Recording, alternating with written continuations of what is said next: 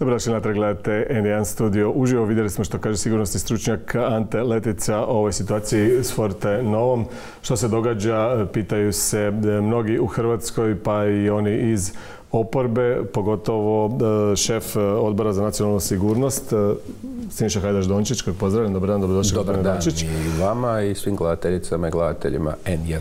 Po izbijanju ove vijesti o kupovini udjela Sberbanke prošloga tjedna rekli ste da ste zatražili informaciju kao šef nadležnog saborskog odbora od SOje. Jeste li dobili povratno? Mislim da će dobiti danas ili sutra. Dakle, to je ono, prošao vikend. Dakle, isto tako kao što će ili su već obavijestili premijera i predsjednika, oni obavještavaju i dakle saborski odbor koji drži najveća oporbena politička stranka. E, ključno u tome zapravo nije bilo pitanje tko je investitor jer to vrlo nemate nekih alata da vi možete utjecati, nego se ovdje radi o tome da li je i na koji način ugrožena zapravo jedna, pa reći ću i nacionalna sigurnost ili da li su se možda kršile sankcije dakle, koje su nametnute dakle, Rusiji. Dakle, to je bio zapravo i temeljni upit za što nas recimo zanima, dakle da li ima SOA kakvih saznanja o tome, dakle prvenstveno oko kršenja sankcija. Drugo, gledajte, i energija i hrana su zapravo jedni temeljni resursi, dakle svake normalne suverene države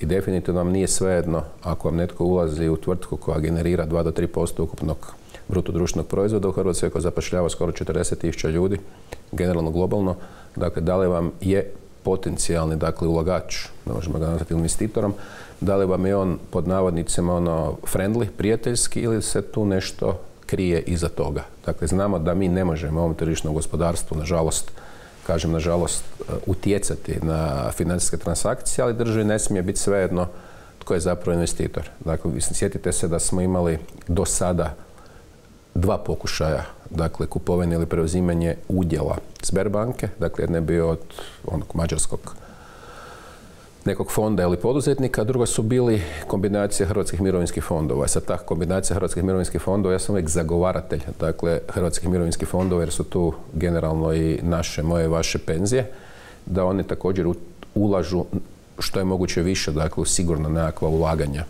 u Republici Hrvatskoj, jer samim time generiraju i zaposlenost, generiraju i dodatnu, da tako kažemo, dodanu vrijednost.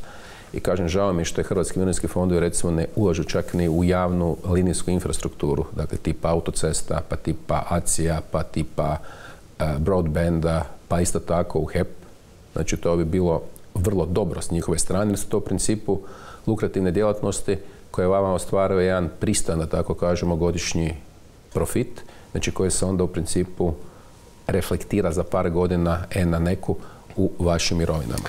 Ali vi kažete da država jednako ne bi mogla utjecati tko je taj investitor, e, što bi onda e, ovdje bilo najspornije? To što nije bilo informacija o tome? Ovaj... Ne, ne, kršenje, može bitno kršenje sankcija. Imate onaj deadline konac listopada, znači kada su se još neke stvari mogli da tako kažemo E, provući ili se ta transakcija dakle dogodila kasnije. Ne, ne, mislim oko ovoga da je to toliko velika firma koja proizvodi hranu i sve to skupa. Što bi sa informacijom da je, ne znam, predsjednik ili premijer to znao prije deset dana da kupuje ja neki šejk iz ja vama ne mogu reći, Emirata. Što, Ja ne mogu reći što bi radio Plenković. Ja mogu reći što bi radio ja, ja bi se puno čvršće postavio jer smatram da je to hrvatski nacionalni interes. A vi onda imate i razno različite institucionalne, i sad ne mislim niš loše po tim i neinstitucionalne, E, modele, metode kojim zapravo vi možete nekom e, olakšati ili otežati ulazak na hrvatsko tržište. Dakle, to rade sve države na svijetu i to mi ne može niko reći da to ne rade. Dakle, brinu se o nekakvim hrvatskim strateškim interesima. Uvijek ti netko može biti ono friendly ulagač i ne friendly ulagač. A zašto mislite da ovaj nije friendly? Pa nisam rekao ja to. To nisam nikad rekao, ne znam. Evo, ja stvarno ne znam da li on friendly ili ne friendly jer nemam uh, instrumente, instrumente da to mogu koje do sad imamo, je li uopće ulagač ili nije. Sberbanka je priopćila da je za njih sve završeno. Ja, ja ne mogu vam to reći. smo da nikad nije zatraženo ništa od nizozemaca koji su znači, nadležni za to kao prije svega, prije svega je trebalo biti pod A, ako je ta transakcija obavljena u nizozemskoj, dakle nizozemci su trebali dati, tako kažemo, approval ili odobrenje ili ne. Dakle, koje se tiču sankcija. A onda u Hrvatskoj također i HANFA i Ministarstvo financija također trebaju dati određeno, da tako kažemo, suglasnost i odobrenja ako vam netko ulazi na hrvatsko tržište, dakle kao jedan novi ulagač. I mislim da moderna država u 21. stoljeću i moderna vlada dakle mora imati bar nešto, mora znati što se događa u kompaniji koja je generirala preko 3% BDP-a. Nije to pitanje šta učiniti ili ne učiniti, ali jednostavno ti to moraš znati, osobito vodeći se temeljnim postulatom, a to je, sjetite se, da je Agrokor zapravo dijete Andra Plenkovića. Dakle, on je pisao, mislim on, dakle, njegova vlada je pisala Lex Agrokor i na jedan takav netransparentan način, znači što je provedeno, dakle, evo sad imamo, sad imamo posljedicu toga, a to je dakle odlazak Rusa, Rusi su došli, dakle neko njih pozvao u, da tako kažemo, Agrokor ili neko dopustio da dođu. E sad oni izlaze. Dakle, to je sve no, posljedica Todorić kad je digao kredit, to je bilo još doba vaše vlade, čini mi se. Todorić nije digao kredit na taj način, nego su na kraju do ove, jednom trenutku, da se podsjetim, su došli takozvani, kako se to u Hrvatskoj zove, to se zove grabežljivi fondovi koji su zapravo imali vrlo veliku, uh, vrlo veliku kamatu. Interest rate preko 11-12% koji su onda bili istisnuti. Dakle, ovdje je mali broj ljudi zaradio dobre pare na tim transakcijama. O tome se radi, to je bit. Dobro, ali Ruse iz Sberbanku je dodao Todorić onog trenutka kad je digao kredit kod njih. Ne, Sberbanka je na kraju došla dakle, uz dogovor sa takozvanim lešinarskim fondovima. Znači, takav je bio završetak cijele priče oko Agrokora. Ajde da se podsjetimo. A kažem, Agrokor vam nije neka firmica od stotinjak zaposlenih koja nema tako velike utjecaj na hrvatsko gospodarstvo. Znači, tu je i proizvodnja hrane, i retail ili trgovina, dakle to su ono... Znači nije trebalo pustiti Ruse tu da imaju posao? Pa trebalo se puno, puno tvrđe postaviti. Evo, e, pa to, je rekli ste Zoran Milanović. Pa dobro je rekao, znači? evo, podržavam ga što je rekao to. Što to znači?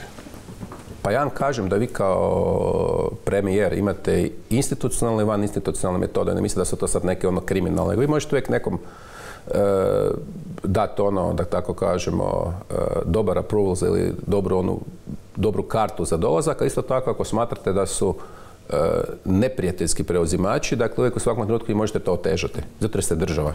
Znači imate u 21. stoljeću sukob između multinacionalnih korporacija koje postaju sve snažnije i snažnije države. Ja sam uvijek na strane države u tom sukobu. Dobro, država u ovom slučaju sada, zadnjem, vi stječete dojam da nitko ništa nije znao, ni premijer, pa ja ni predsjednik ja, ja mislim, neke obavištene agencije. Ja mislim, evo, ali dozvolite da u ovom putu stvarno ne trebam biti u pravu. Ja mislim da su oni znali bar jedan dana ranije. Evo, to je moje mišljenje. I Milanović i Plenković? Mislim da bi trebali znati bar jedan dana ranije. Ali to morate njih pitati, ili jesu ili nisu. Dobro, a što vi očekujete da vam nešto o tome kaže i SOA u ovom pa ja ću, ja ću vidjeti ono što Mislim, što je vama problem u toj priči? Pa da, da li je ovaj, SOA, nešto doznala i obavijestila koga je trebala? to nije, da, to nije, problem, to je, SOA, to je posao da obavijesti. Ja mislim da oni rade posao za hrvatske prilike ono vrlo solidno. A sa druge strane, ono ključno pitanje koje ću se ja vratiti, nije pitanje sada e, takozvanog investitora, nego je pitanje da li su se kršile sankcije ili nisu. Ako su se kršile sankcije, to podliježe određenim, određenom kaznenom dijelu. O tome se radi. Ni o ničem drugom. Ja to uopće ne stavljam na pijedestal da li je on dobar investitor ili nije. Ali opet netko vam treba Mislim, pa ne radi se o najma kompanije. Ne radi se, ne radi se o, je bitno ne radi se o kompaniji. Da, bi pa da, da, apsolutno bi. Pa ne radi se o kompaniji od 100 zaposlenih. Radi se o, ponavljam, kompaniji koja generira 2 do 3% hrvatskog BDP-a. Dobro, i baš zbog znači, toga morate se kao, želimo vjerovati da nekakva SOA, obavištani sustav, je dao informacije prije nego se stvar dogodila. Ja bih to isto htio vjerovati. Da se to dogodilo, ne znam. Evo. Pretpostavljam, ali nisam se to nije dogodilo, a Milanović i Plenković su jedan i drugi rekli da nisu znali ništa, odnosno nisu dobili nikakve informacije, pa, za tako je to onda problem za SOU? Pa za tako važne stvari, dakle sigurnost obavještajne agencije svugdje u svijetu dakle, moraju davati određeni input dakle, odgovornim osobama koje su u tom trenutku u državi. Dakle, ja vjerujem i nadam se da je SOA odradila svoj posao. A ako nije, ako to izvješće pokaže A onda će prije svega morati reagirati premijer i predsjednik, pošto oni su potpisnom e, kreiraju dakle sigurnosno obavješnu politiku u Hrvatskoj. To jest imenuju ili ne imenuju e, ravnatelja SOje. Dakle, mislite da krajnja konsekvenca mogla biti pa, Ne mora to biti, ali, smjena, ali, gledajte sad, nečija, ali gledajte sad, mi, Markića, sad, mi nagađamo. Znači, i, vi i ja nagađamo. Dakle, ne nagađam, ja vas dakle, pitam, ne, ne, ne, znam, ja moram prvo vidjeti izvješće, po tome mogu pričati, ne znam. Da, da, ali mogu kažem, pretpostaviti. Ono, ako bi izvješće pokazalo da državni vrh nije dobio nikakvu informaciju od onda, te agencije, onda, će je to problem za morat, onda će se državni vrh morat zapitati, predsjednik i premijer, da li je to normalno. Evo, samo toliko. Dobro, a što ćete se vi zapitati u saborskom odboru? Odnosno, koji su vaši instrumenti onda da djelujete? Što ću se ja zapitati? Dakle, prvo ću vidjeti kako će doći odgovor. Dakle, prvo ćemo vidjeti kako će nam doći odgovor, nakon toga će možemo sazvati tematsku sjednicu, dakle, svašta možemo. A možda nećemo ništa. Ovisi, kažem, kakav će doći odgovor. Znači trebate procijeniti, dakle ovo nije igra, ono, ovo ne igramo Raup ili Belu, ovo je malo kompleksnija igra. Nije James Bond, ali... Ma nije James Bond, ali treba biti tu isto malo onako. Dobro, ajde sad kad sam već spomenuo James Bonda, Gdje ste sad je tu jedna teza, ovaj, Koja? pa to je ono kao personifikacija Aha, špijuna i, i, i, 007. i uopće cijele, cijele ovaj, te priče. Jedna teza da, što bi uopće SOA trebala znati sve o svačemu i svemu Ne, ne, ne, i kao kod nas je ono, kad, svaki put kad nešto bude, pitajte SOA-u. Kao, Ne, pa znači ovo što je premijer pitao je apsolutno ispod svake razine. Dakle, premijer to mora znati. Dakle, ne može, ko, ko bi pitao SOU? Novinari će pitati SOU. Pa kakva smo onda mi država? To se ne radi. To se apsolutno ne radi. To je greška Plenkovića. Definitivno. Znači on ne smije odgovarati, pitajte SOU. Jer on postavio vama, novinarima to. Kako će, će novinari pitati SOU? Čujte, dajte nam, re- recite nešto. To se ne radi tako. Dobro, pa onda je očito iz njihovog, odgo- njegovog odgovora da on nije dobio ništa. Ono, Pa ne znam, je vidjet ćemo. Sve će se, sve, Milanović je sve druge jednog strane dana... rekao pa što bi se SOA mogla znati, pa ne, ne prati SOA i prisluškuje svačiji telefonski Ali nije razgovor. stvar prisluškivanja. Ja kažem da je energija i hrana pitanje nacionalne sigurnosti. Ja na tome inzistiram. Dakle, nije sve stvar nekih vojnika i artiljerije i topova. Dakle, hrana i energija je ono oružje 21. stoljeća. Ne kažem da oni se trebaju baviti dnevno političkim e, transakcijama koje se, zapravo ne dnevno, ekonomskim transakcijama koje se događaju u Hrvatskoj, ali nešto što ti je strateški. Dakle, HEP energija, Agrokor, iako je privatni, mislim Fortanova to jest, ali gledajte, tu su ogromni resursi poljoprivrednog zemljišta u Slavoniji i Baranji. Dakle, tu su izvorišta vode, nemojmo zaboraviti. Znači, to je proizvodnja i prerada mesa i mesnih prerađevina. Dakle, to je e, vino, dakle, mislim grođe, hoćeš. Znači, to, to, to su prirodni resursi koji postoje. Pogledajte si malo portfelj Fortanove. Mislim, Nije, nije- to ono dječja igra, da tako kažemo. Dobro, zato Andrej Plenković i kaže da je donio Lex Agrokor jer je trebalo spasiti. Da, ali ne na način ono kako ga je donosio, čini. ne, ne, netransparentan način. Ali dobro, to mislim, ta već tema je ono 4-5 godina se priča o tome, to je bilo apsolutno netransparentno. Znači gdje je određena skupina ljudi zapravo dobila određene signale i određenim signalima su oni napisali jedan zakon gdje kažem da se mali broj ljudi zapravo dobro obogatio na taj način. I to je činjenica. I to ne može niko demantirati. Dobro, ajde vidjet ćemo što će biti onda s tim izvješćem kad ga dobijete i što ćemo dalje doznati u ovom slučaju. Mislite da tu ima politike u ovoj priči? Odnosno, Ne, da stvar, li tu... stvarno ne znam. Ne, ne mogu vam to reći, ne, ne znam. I sad se tu govori o ovoj pozadinskoj ekipi koja je kao odradila posao ne, za ne, nekoga ne i to sve skupa, ali koliko shvaćam to bi sve bio neki dio Ja to više, biznisa ja u to kojem više neko nešto vidim, za nekoga ja radi. to više vidim, dakle, po informacija koje su mi dostupne, da je to stvar, da, kako vi kažete, određenog biznisa ili poduzetnika koji su sad tu bili, bili povezani s Agrokorom, pa konzultanti, pa pravnici, pa PR agencije i tako dalje. Dakle, ništa u principu nije ne- nedozvoljeno sukladno zakonskim propisima. Samo kažem, uvijek vam netko dolazi i netko se želi na brzi način ono, zaraditi. Ali to je na Ali mali ne broj sumnjate ljudi. da je bilo tu politike u smislu... Ne, ja, gledajte, s ove pozicije... osvećivanja prve ponude ili druge, pa sad onda treće Gledajte, je ja to, ja to nisam primijetio, sad gledam, ne znam, pri- primijetio nisam. Vidjet ćemo. Bićemo pametniji svi da vidimo malo što se to zapravo pozadinski događa. Dobro, e, prebacimo se na sljedeću temu, a to su cijene goriva. Vlada opet e, danas imala sjednicu na kojoj je fiksirala ovaj plavi dizel za dva tjedna. To isto kao Benzin i dizel je e, otišao ili ne, pao koliko je trebalo. Znači, dizel je nešto pao, benzin je nešto se, cijena se povećala. Ha.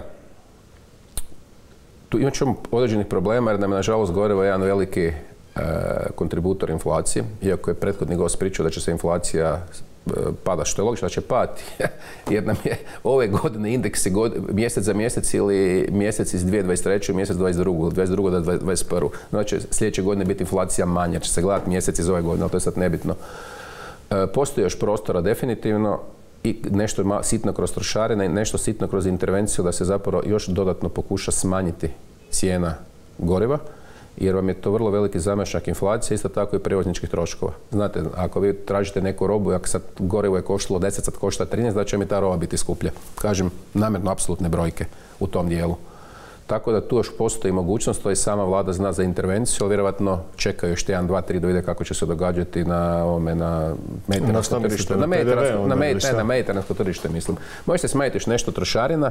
Pa to je nešto sitno, Ha, ha, 19 sitno, lipa, ali ono, mislim, sitno, sitno i 30-40 lipa vam nije sitno baš u ukupno, ukupnoj količini ako, ako trošite 700-800 kuna na, ne znam, na cijenu rezervara. A ja kažem da, iako se većina ljudi ne slaže s time, uvijek postoji prostor ako će biti potrebno, dakle naravno mi pripadamo jednom bloku da uvijek postoji prostor da se tu i tamo malo poigrate sa PDV-om. Ne zagovaram, ali to, to, recimo to je bilo, to je bilo zadnje oružje. u tom dijelu. Imate i francuski dio gdje vam oni recimo subvencioniraju kao država svima na benzinskim pumpama koji su stavnici e, francuske, gdje vam subvencioniraju recimo ne znam 50 centi, 50 euro centi vam subvencioniraju po, po, po, po gorivu. Dakle, postoje još mogućnosti i za takve subvencije.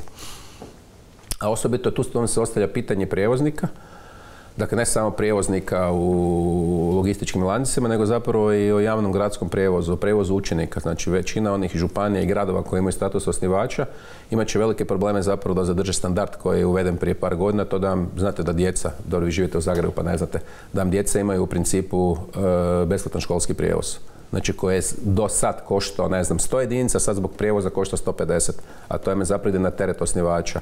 A nisam baš primijetio da će se država baš nešto izdašno pomoći jedinicama lokalne uprave i samouprave. Vidite kako je to sve jedan začarani krug i, i jedan, lanac. Dakle, i što treba sve promatrati? Dakle, od međumjesnog prijevoza, od prijevoza srednjoškolaca, osnovnoškolaca, pa onda krećemo na biznis, na industriju, na globalne dobavljačke lance. I vi tu ne vidite rješenja da imaju Pa rekao sam koje vam je rješenje. Znači, postoji, postoji još mogućnost u trošarini i kažem za i u konačnici, konačnici čak ni PDV nije sveta krava i sa druge strane postoji mogućnost drugih subvencija. Znači, o tri, tri rješenja sam sad dao, ali to je stvar za ha, vjerojatno za ministra financija. Više nego za ministra gospodarstva. Dobro, i to biste radili sada. Mislim, e, iz vlade smo čuli da je ovaj paket koji je došao 21 milijarda, da je to to za sad. Čeka se još rješenje za plin. Da, morat će se e, riješiti plin i morat će se vidjeti kako i na koji način će se postaviti proračun za sljedeću godinu.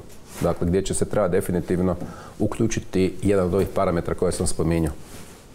Znači, naravno da sama država mora procijeniti. Znate koji će biti prvi indikator? Znači, nama u proljeće sljedeće godine nam stiže milijarda i pol eura uh, eurobonds, euroobveznica. Znači, Hrvatska će se morati zadužiti. Vidjet ćemo pod kom stopom ćemo se zaduživati sljedeće godine.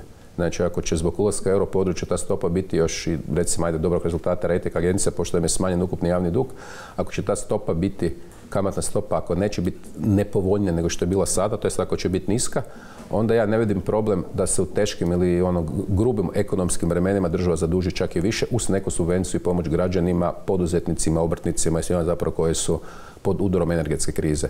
Jer bi bilo najgore da razvoj različite populističke stranke iz krajnje desnice ili krajnje ljevice koje u Hrvatskoj ne postoje, govorimo o krajnjoj ljevici, zapravo zauzmu prostor pa da se događaju neki scenariji kao što se događaju recimo u Češkoj. To je bilo jako loše za Hrvatsku. Če ste dobar savjet dali onda Andreju Plenkoviću? Pa ako se sjećate da smo i mi prije njegovog prvog i drugog paketa, dakle SDP je izašao prije s mjerama koje su gotovo bile identične ili nešto malo izmijenjene s onim mjerama koje je predložio u tom trenutku Zdravko Marić, pa mislim da na druge čak i Primorac predlagao. Ali recimo ajde Andrej Plenković, pošto Andrej Plenković ovako jednako vodi vladu kod da postoji samo on, on, on i to je to. Ali nisam nas raspoložen baš da pričamo o Plenkoviću. Znači na istom ste tragu, vi, vi, vi i oni, onda biste mogli i zajedno sutra. Joj, gospodine Bobiću, kako ja vas volim čovječe, vi ste mi, vi ste mi ono naći.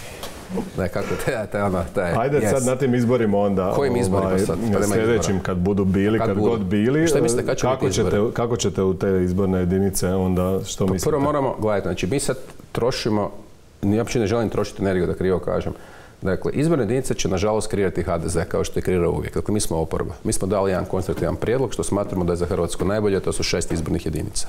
To vam HDZ neće prihvatiti, zato jer se onda postavlja pitanje samog teritorijalnog ustroja ili preustroja Hrvatske. Znači, oni će vjerojatno ići na nekakve polukozmetičke izmjene, dakle koje mogu biti da u određenim izbornim jedinicama vam zapravo se bira manji broj zastupnika, određen veći broj zastupnika ili će vam one raditi takozvani da, e, princip daždvenjaka, onaj američki gdje će malo ponovo ići krojiti izborne jedinice da pokušaju to nivelirati. Ali to će napraviti oni. Naši u principu da se spremimo i da pokušamo zajedno sa partnerima iz lijevog bloka ili lijevog centrističkog bloka i centra, dakle, formirati vladu. A o načinu izbora, izlaska na izbore, s kim će SDP ići, s kim SDP neće, će puno prerano da pričamo o tome sada. Znači vi isto koji Andrej Plenković vjerujete da će izbori biti za dvije godine? Pa kad će biti izbori ovisi samo jedne osobe u Hrvatskoj, to je Andrej Plenković. I dodatno o Zoranu Milanoviću. On ima, ima onaj ustav, to je zakonski rok da može raspisati u 30 ili 60 dana. Dakle, ima dvojice to ovisi.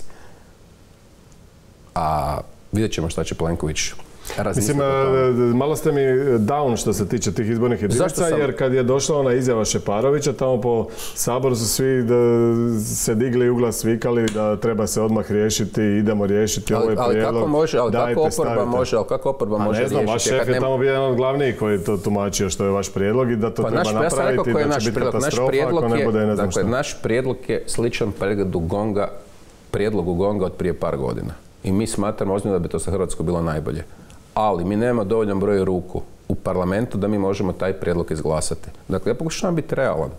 Dakle, naravno da vi radite pritisak oporba da se neke stvari Dobro, evo sad je tu teza, kaže Koja? iće HDZ na ovo, na 21 izbornu jedinicu koliko je županija. Što? bez veze plus grad Zagreb e, i da e, to je jako nepovoljno zapravo za vas iz oporbe i da će vas na taj način prisiliti da se svi zajedno mogu, ovaj, združite. mogu vas ja nešto pitati? Koliko već pratite političke teme? Ne, ništa osobno, predugo, jel tako, isto kao ja. Dakle, kako ćemo ovo nazvati?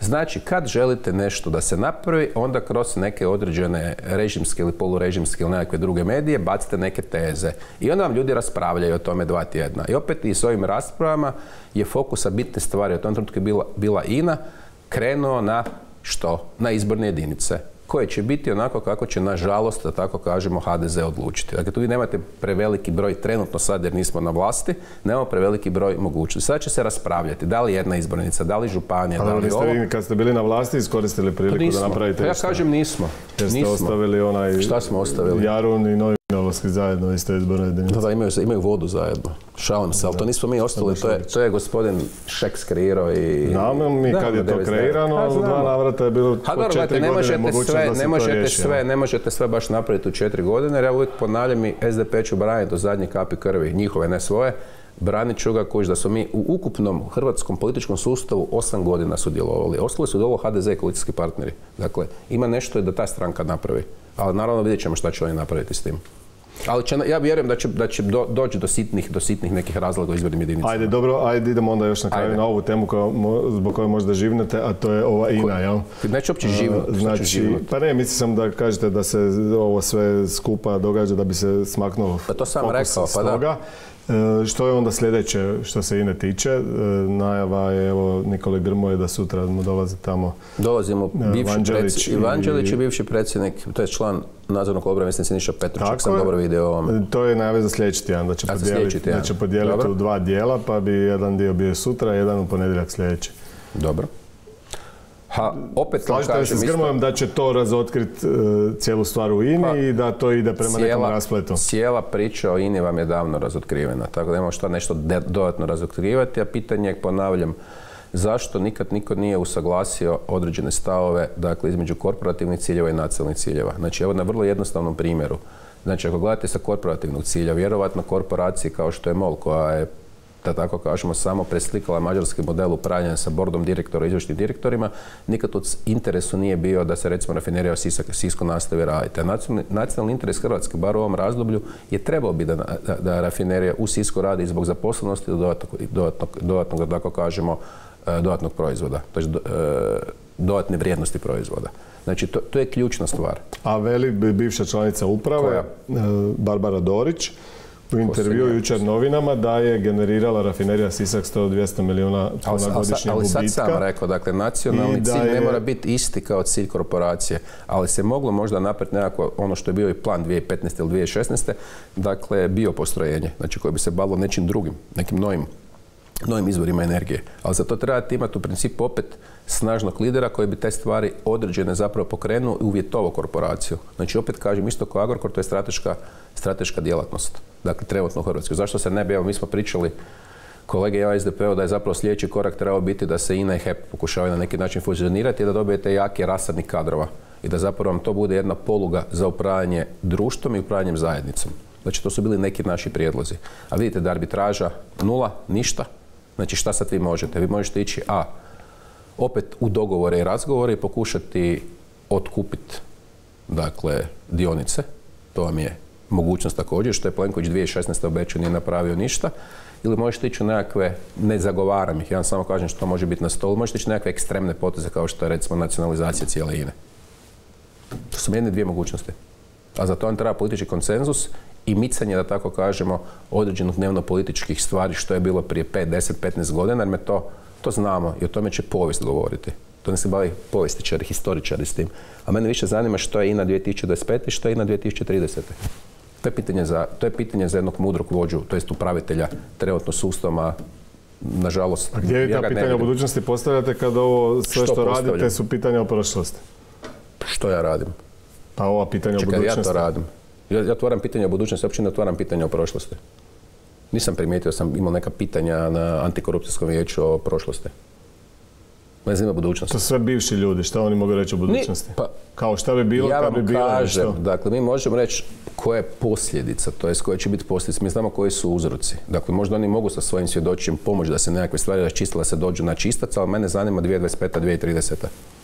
Što je INA? Nisam čuo, Dobro, nisam što ti čuo još, ljudi, nisam čuo što to ti ljudi mogu reći koji su svi bivši u INI Pa o mogu tome pričati o određeno što bi bila uzročno 2030. da se Pa ne napravilo znam, evo, sve možda, kako treba. možda to. ih nešto pita netko, ili možda da neki prijedlog što bi trebalo napraviti.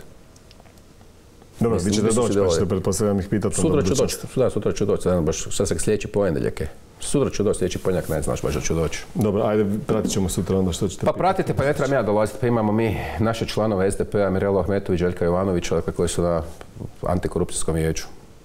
Vidjet ćemo. Dobro, Rekli su hvala, gospodine Hajdaš Dončić. Hvala i vama.